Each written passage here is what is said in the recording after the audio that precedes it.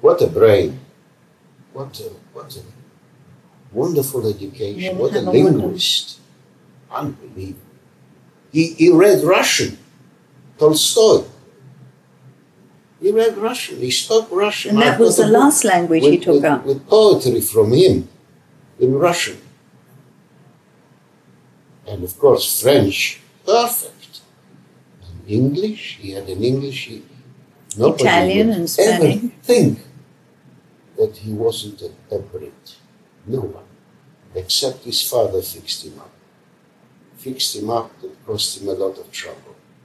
He put down on his birth certificate, certificate David Israel. Israel no, David. Israel David. Israel. He put, he put his first name Israel. And of course, David couldn't, he couldn't get rid of it.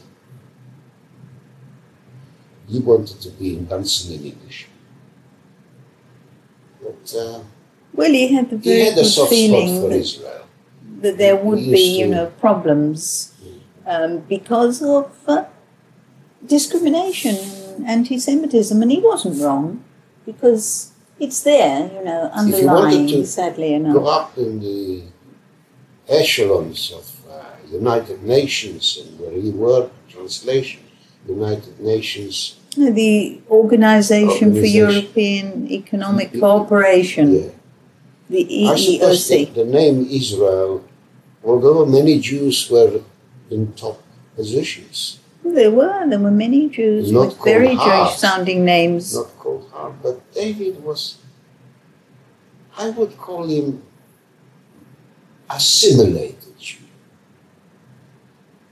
But he had something about him that was Jewish. You know what I mean? Indeed. he cared very much for Israel.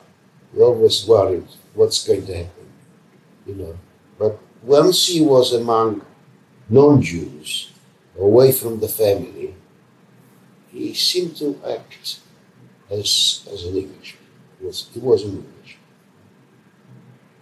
But he was a very interesting chapter to, to know.